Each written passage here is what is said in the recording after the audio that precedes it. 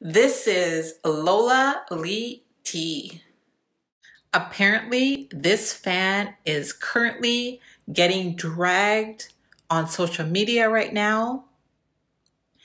And I'm sure she wasn't banking on all of this negative attention. So, like, what's that energy? So apparently, she asked Coi Leray to take a picture with her just to disrespect her. The fan captioned the photo, I look more like a celebrity than her. So, like, what's that energy? Hmm. I need a moment, guys. What the hell, right? Wow. This is so shocking. What happened to the days when fans were grateful, when celebrities took the time to take pictures with them? Damn. Coi didn't have to take the time out of her life to take a picture with this girl.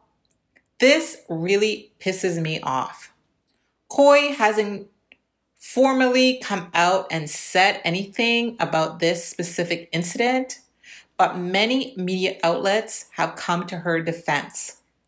And actually, I just noticed that Coi liked the picture on Instagram so I don't know what this is all about.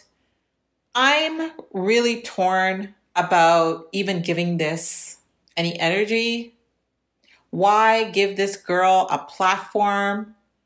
Sadly, when I checked this fan's Instagram, it looks like she has gained followers. But she did limit her comments because, like I said, she is getting dragged all over social media.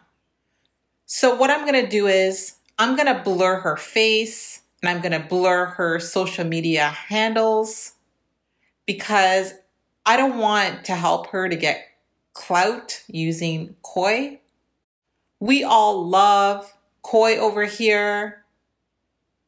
And we don't understand why she gets so much bullying. Lord have mercy.